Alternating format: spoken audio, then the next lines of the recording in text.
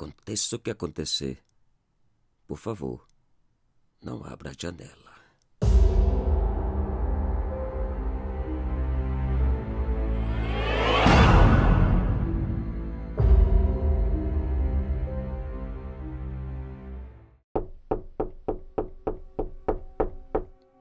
Esse é o momento crucial do jogo. Abrir ou não abrir. Os que não tiveram coragem de abrir a janela ainda contam na internet do terror vivido. Por outro lado, os corajosos que prometeram abrir e receber a visita jamais voltaram a subir qualquer publicação a respeito. Suas páginas nas redes sociais foram apagadas. Simplesmente desapareceram. A história a seguir foi publicada na internet pela amiga de uma jovem sul-americana. Uma outra jogadora. Uma outra corajosa. Depois de ouvir da sua amiga que o jogo da janela não passava de uma mentira, pois havia provado e nada acontecia, Nath resolveu fazer o seu próprio jogo. Quem sabe, ou talvez, a amiga não havia seguido todas as normas ao pé da letra. Assim pensando, ela resolveu ler e aprender todos os detalhes, todas as regras do jogo, para que tudo saísse perfeito e sem desculpas. Ela queria descobrir a verdade, sentir a sensação do medo e pavor, caso fosse verdade. Dias passaram. Nath se sentia preparada para a grande prova. Na noite do último dia do mês, aproveitando que os pais haviam viajado de férias e se encontrava sozinha na residência, ela decidiu começar a brincadeira. Vê para crer. Por volta da meia-noite, abriu a janela e, olhando para a vizinhança, deu o primeiro passo. O convite. Confiada e sem medo, Nath começou a convidar mentalmente a qualquer alma, a qualquer espírito ou qualquer entidade para que fosse lhe visitar. Depois de alguns minutos de concentração, Nath fechou a janela, puxou as cortinas e foi deitar. E esperou. A noite passou e nada aconteceu ou apareceu. Nenhuma visita. Porém, como Nath conhecia as regras do jogo e sabia que algo somente acontece depois de várias tentativas, não desistiu e prosseguiu. Na segunda noite, o mesmo resultado. Nada aconteceu.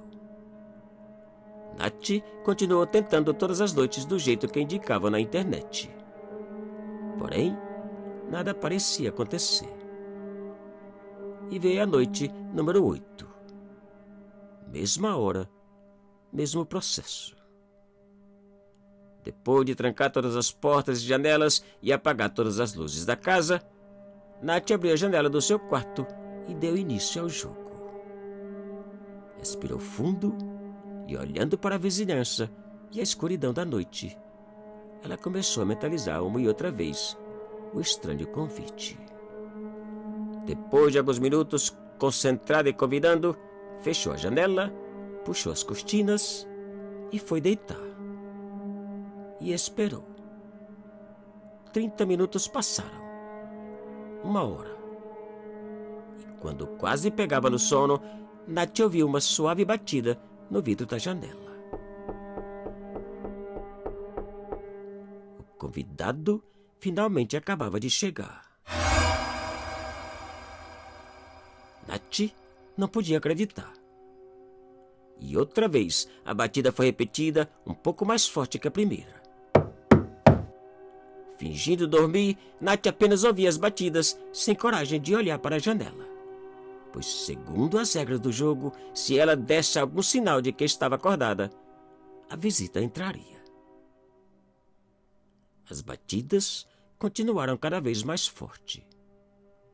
E quando o vidro da janela parecia arrebentar, Nath não resistiu à tentação e cometeu o pior erro da sua vida. Levantou, correu para a janela e abriu a cortina para ver quem batia. Para sua surpresa, não havia ninguém. Enquanto ela olhava pela janela, uma forte batida foi dada em alguma parte da casa. A visita já havia entrado. O medo de Nath começava. Assustada e medrosa, ligou para sua amiga que do outro lado da linha parecia não acreditar em nada que ela contava. Pare de brincadeiras e mentiras. Pare de assustar, disse a amiga. Enquanto falavam, outras fortes batidas foram dadas por toda a casa. Nath, apavorada, jurava para a amiga Lu que não era mentira, que alguém havia entrado na casa, que estava arrependida, apavorada e não sabia o que fazer.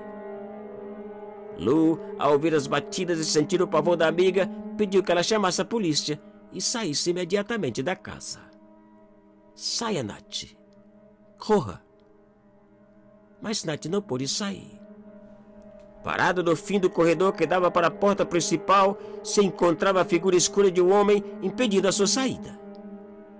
Gritando e chorando, correu para a cozinha, porém um outro vulto negro se encontrava frente à porta. O pavor de Nath aumentava. Desesperada, gritando por socorro, correu para o quarto, trancou a porta e se escondeu debaixo da cama.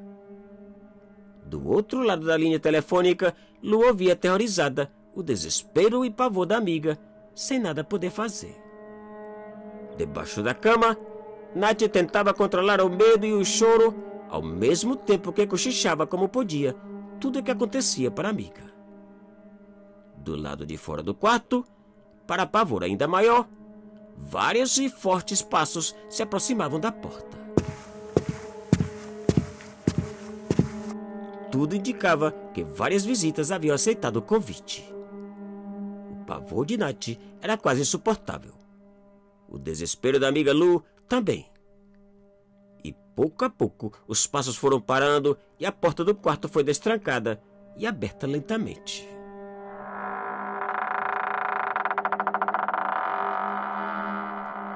Debaixo da cama, o único que Nath podia ver eram os pés de várias pessoas entrando caminhando em sua direção. Vários pés que estranhamente foram parando ao redor da cama e de Nath. E ali ficaram parados imóveis enquanto Nath tremia de pavor. Depois de alguns minutos, as visitas caminharam até a porta e saíram. A amiga Lu continuava na linha ouvindo o que Nath contava, sem poder acreditar. De repente.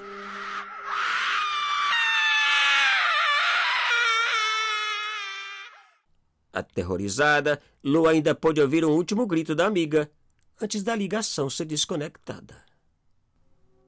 Poucos dias depois da história ter sido postada na internet pela amiga Lu, todas as publicações, páginas e sites pertencentes às duas amigas em todas as redes sociais foram estranhamente apagadas ou desapareceram. Te cuida e muito obrigado.